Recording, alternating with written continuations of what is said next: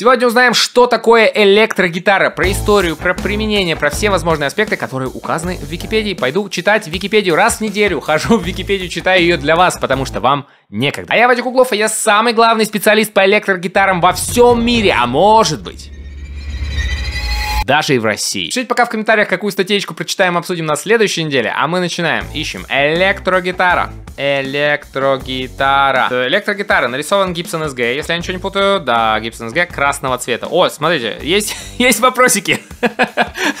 Сразу с разбегу.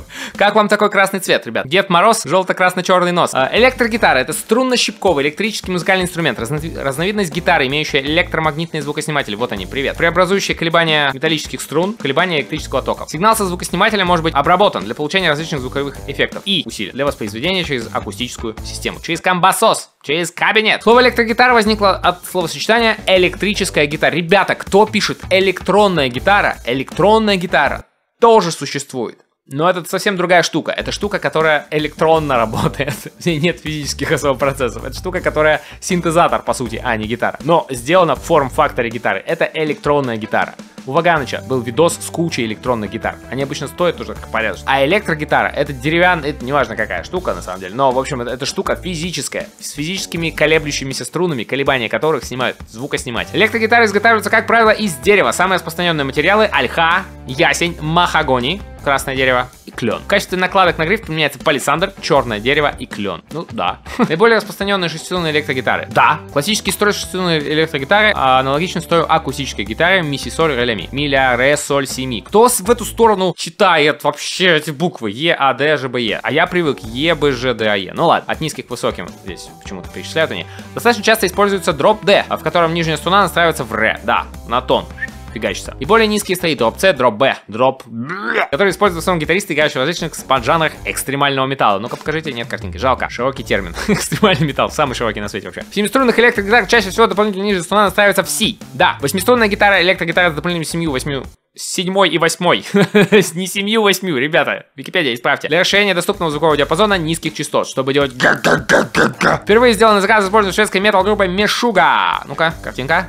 Мешуга. Мишуга. Благодаря популярности этой группы для любителей подобной музыки выпущена первая серийная Ibanez 2228, восьмиструночка. У Пушного, по-моему, такая была. Типичными наиболее популярными из старейших моделей электрогитар являются телекастер. Да, телекастер. У, кто за телекастер, пишите в комментариях. Я за телекастер.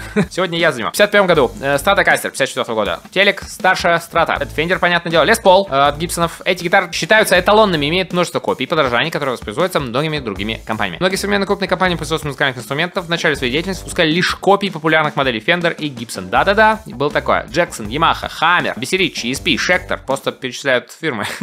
Это типа я почти Димон с гитарных историй.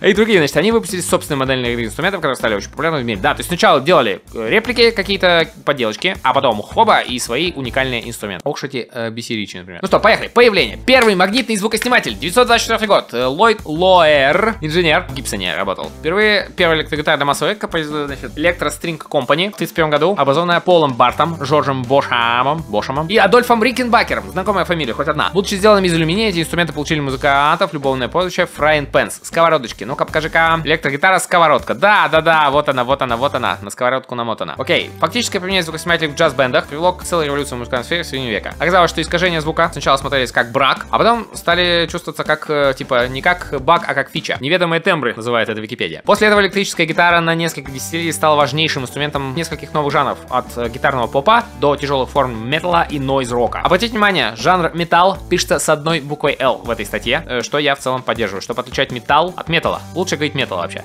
Звукосниматель может быть установлен как один, два, так и три. С ума сойти, так и три звукоснимателя. Ууу, Википедия. О том, кто из гитаристов первым перешел из акустики в электричество, до сих пор идут споры. Угу. Основной претендент на роль пионера Лес Пол, утверждавший, что именно он начал экспериментировать в этой области в начале 20-х годов. Согласно архивному каталогу компании RCA Victor, Виктор Семенович, 22 февраля 1933 года коллектив вот этот вот, я даже читать не буду, записал около десятка песен с использованием электрической стил-гитары. Четыре из которых были выпущены двумя пластинками, туда же журнал Guitar Play считает официальным днем рождения электрического гитарного звука. У! 29 августа 2004 года впервые свои первые записи сделал в Лос-Анджелесе оркестр Энди Лоуна and His Islanders, пославшийся впоследствии умением внедрять агрессивные гитарные партии в джазовую ткань. Ужас. На стил-гитаре здесь играет... Стил имеется в виду лэп стил гитара, которая на коленках. Играл э, Сэм Коки. Сэм Коки. наряду с Солом Хупи, считавшийся лучшим гитаристом западного побережья. Почему?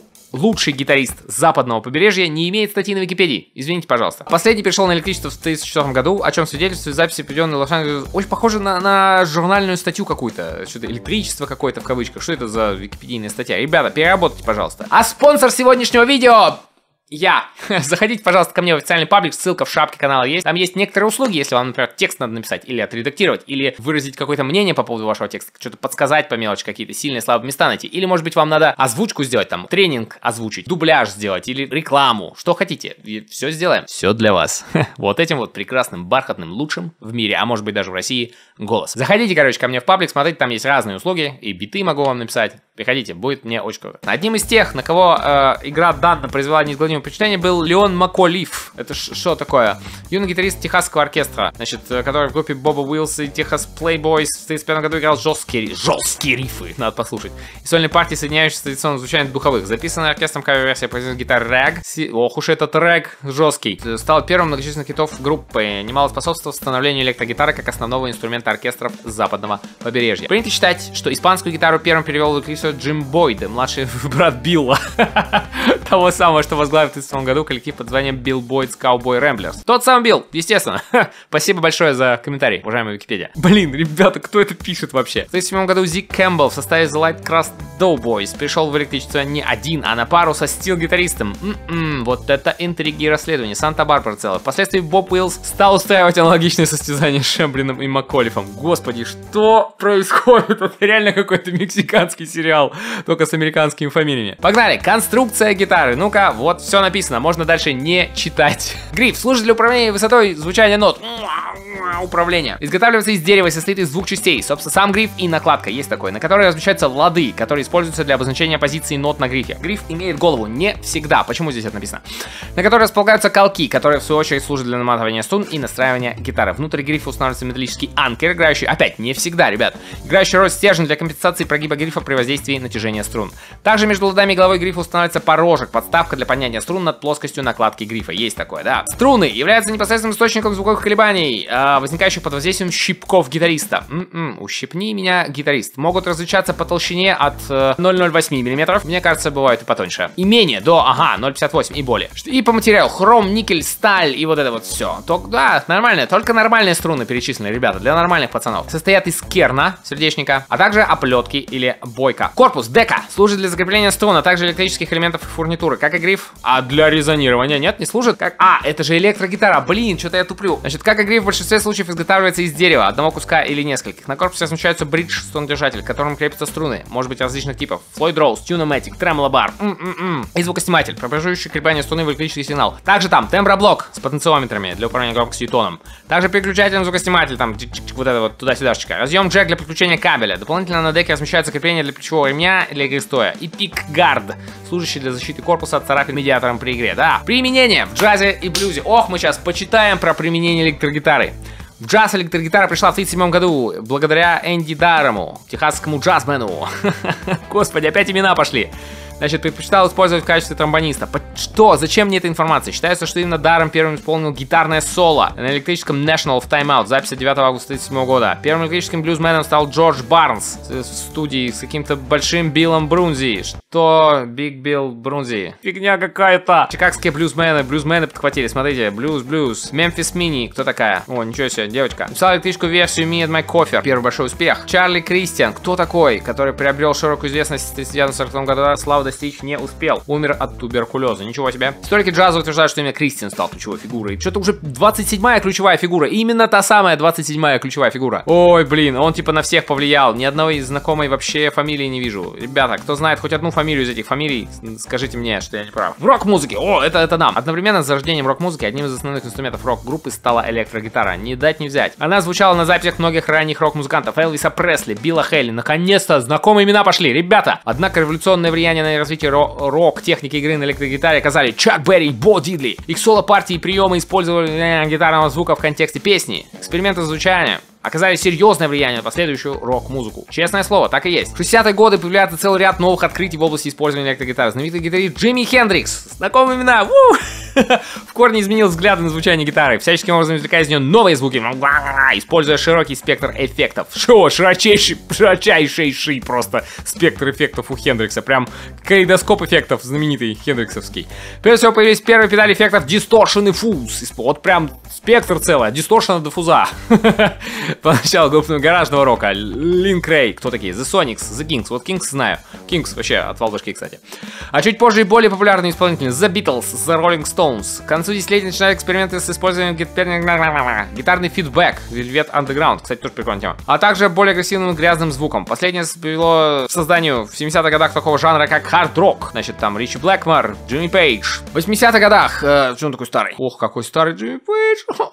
В 80-х годах с появлением панк-рока, развитием альтернативного рока начинаются эксперименты с поиском новых звучаний для гитары. Важнейшую роль сыграли в этом новые группы конца 70-х. Например, Joy Division. Кстати, мне что-то не заходит Joy Division. Что хотите, мне не заходит. Чей-гитарист Бернард Самнер создавал с помощью гитары не только ритм или соло-партии в традиционном понимании, сколько атмосферные звуковые ландшафты. Да, есть такое. Мне YouTube за это не нравится, вот за эти атмосферные звуковые ландшафты. Скукотища страшная. Вспоминающая при послушании песен на подсознательном уровне. Революционную роль в развитии рок-гитары 80-х годов сыграли Sonic Youth, чьи гитаристы, вот эти вот ребята, используя традиционные настройки и техники игры. Фидбэки. Фидбэк — это обратная связь, когда, получается, электрогитара ловит звукоснимателями звук, который исходит от нее же через усиление. И возникает петля обратной связи, фидбэк. Шугейзинг, максимально отдаленный от привычных стандартов. Шу шугейз и звучание — это разные вообще вещи. Шугейз — это когда люди на ноги себе смотрят, потому что интроверты. Куча эффектов, гитары иногда звучали как синтезаторы, рифы отходили на задний план, странный революционный эффект. Какой? Странный революционный эффект. Создавала что создавала? Поп-музыка будущего, значит, My Bloody Valentine, Slow Кто эти люди? Параллельно с этим 80-е годы фолк-рок трансформировался в более мягкое гитарное звучание, значит, симфонический эффект давался Джонни Мар The Smith. The Smith, конечно, симфонический рок знаменитый. В академической музыке в 50-60-х годах многие композиторы академической музыки стали использовать в своих произведениях электрогитару. Наконец-то дожились из таких произведений. Кстати, кроме шуток, да, вот эти все современные штуки в музыке очень э, долго догоняются в классическую музыку. Сейчас очень большие проблемы с записью музыкальной нотации, если используете синтезаторы какие-то или там фильтры открывающиеся,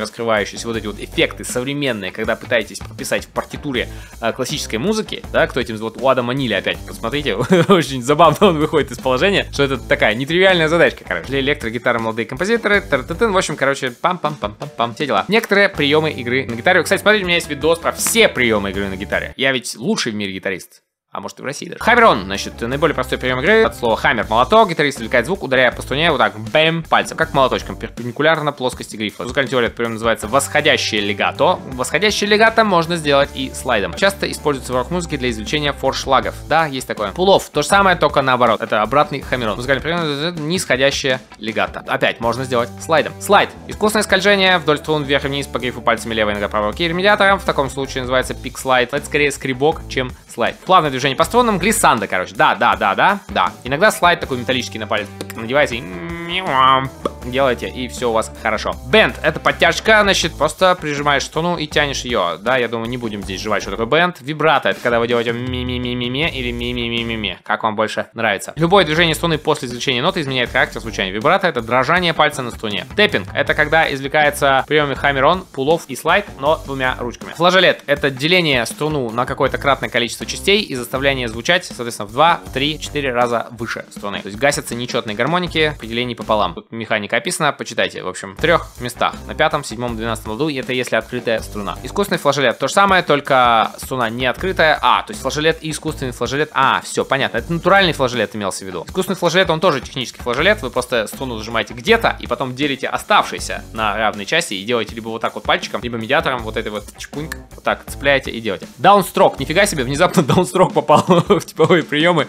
Даунстрок это когда фигачите вниз. Как правило, комбинируется еще с техникой Palm Mute, если вы не рамонис, и получается Свип. Свип это скоростной прием игры, когда вместо извлечения каждой ноты отдельно вы делаете рынь такую штуку, а эти пальчики так быстро переставляете, чтобы у вас получался свип. Оборудование. У, все, что мы любим. Комбик, комбо-усилитель. Спасибо, что написали комбик в скобках. Значит, усилитель и динамик в одном корпусе, как и водится. Ламповый, обязательно ламповый он должен быть. Все, что не лампа, то говно. Педаль эффектов, примочка. Спасибо за это слово, да. Примус. Устройство, обрабатывающее звук гитары. Обычно одно устройство, один тип эффекта. Иногда два. Да, я видал и такое. Если это не проц, редко туда зашивают много чего. Overdrive, Distortion, Fuzz, Chorus, вах. У меня есть ролик про все гитарные эффекты, ребят. Посмотрите, давайте не будем сейчас распинаться. Overdrive и Distortion Fools это перегрузики. Хорус это многоголосие. Немножко расстраивается, там чуть-чуть, э, значит, э, копия сдвигается по времени. За счет этого такая какая-то пульсация появляется интересная. Вах-вах, квакушка это, по сути, свип-фильтр, который